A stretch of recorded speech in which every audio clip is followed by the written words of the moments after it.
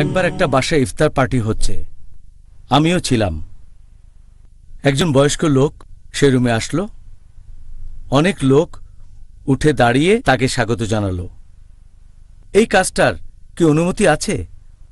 অনেকে বলে, অনুমতি নেই। এ ব্যাপারে আপনি কি বলবেন?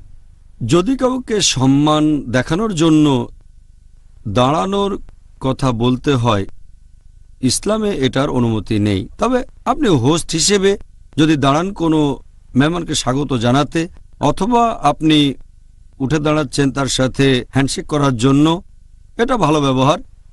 হ্যান্ডশেক করার সময় দাঁড়ানো অথবা হোস্ট হিসেবে মেহমানকে স্বাগত জানানোর জন্য এতে কোনো সমস্যা নেই। এটা হচ্ছে একটা ভদ্রতা, ভালো ব্যবহার, সুন্নত। কিন্তু দরজার সামনে দাঁড়ালেন, স্বাগত জানালেন না, হ্যান্ডশেক করলেন না, শুধু কাউকে সম্মান দেখানোর জন্য এটার অনুমতি নেই। তবে যদি কাউকে স্বাগত জানান অথবা অফিসে বসে আছেন, তখন কেউ আসলো গেস্ট আসলো হ্যান্ডশেক করবেন। তখন দাঁড়িয়ে হ্যান্ডশেক করলেন, স্বাগত জানাতে গিয়ে এটাকে বলা হয় ভালো ব্যবহার। এটা একটা সুন্নত। অনেক হাদিসে এটা বলা হয়েছে। যেমন ধরেন, যদি পড়েন, এটার উল্লেখ আছে তিরমিজিতে, হাদিস নাম্বার তিন হাজার আটশো বাহাত্তর।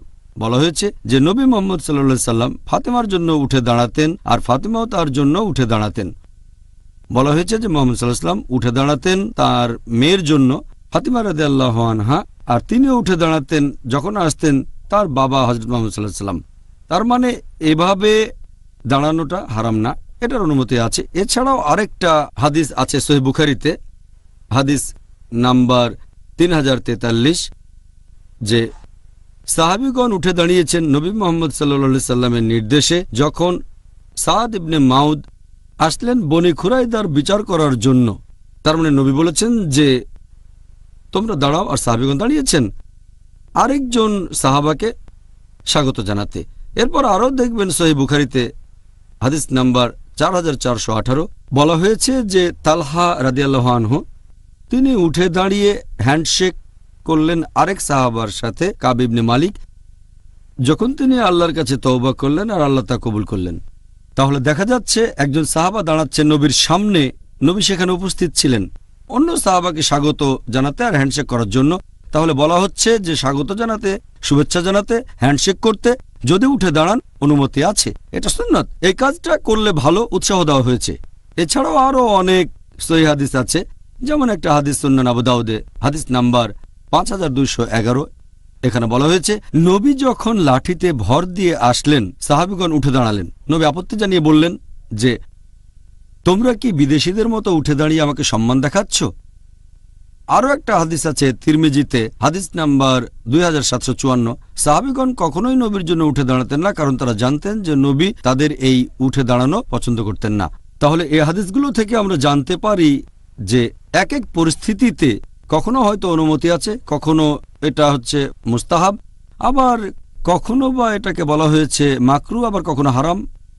আর শেখ বিনবাজের কাছে ফতোয়া চাওয়া হলে আল্লাহ তাকে রহমত করুন। আমিন। রাহিমুল্লাহ তার কাছে ফতোয়া চাওয়া হলে তিনি এই তিনটা ক্যাটাগরি করলেন। তিনি বলেছেন যদি কেউ উঠে দাঁড়ায় কাউকে সম্মান দেখানোর জন্য যে বসে আছে যেমন আগেকার রাজা বাদশারা এমন করত এটা হারাম। কারণ নবী পছন্দ করতেন না। আর নবী বলেছেন, একটা হাদিস যে নবী তখন নামাজ শেষ করে বসেছেন, সাহাবিগণ উঠে দাঁড়ালে নবী বললেন যে, আমি বসা অবস্থায় উঠে দাঁড়িও না, তোমরা আমাকে পারস্য রাজার মতো সম্মান দেখিও না। তাহলে কোনো মানুষকে সম্মান দেখাতে উঠে দাঁড়ানো আর সে বসে আছে, এটা হারাম।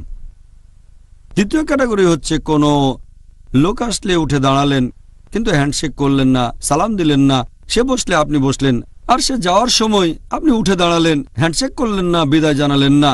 এটা হচ্ছে মাকরু। বেশ কিছু হাদিসে আছে, সাহাবিগণ নবীর জন্য উঠে দাঁড়াতেন না, কারণ নবী দাঁড়ানো পছন্দ করতেন না। তবে তৃতীয় ক্যাটাগরি যখন আপনি দাঁড়াচ্ছেন, কাউকে শুভেচ্ছা জানাতে, কাউকে স্বাগত জানাতে, তার সাথে হ্যান্ডশেক করলেন, এটা হচ্ছে মুস্তাহাব, উৎসাহ দেওয়া হয়েছে, এটা আমাদের নবী সুন্নত। তাহলে দাঁড়াচ্ছেন কারোর সাথে হ্যান্ডশেক করার জন্য, অথবা স্বাগত জানাতে শুভেচ্ছা জানাতে এটা মুস্তাহাব, ভালো ব্যবহার আর আমাদের নবীর সুন্নত। শেখ বিনবাজ এই তিনটা ক্যাটাগরি করেছেন।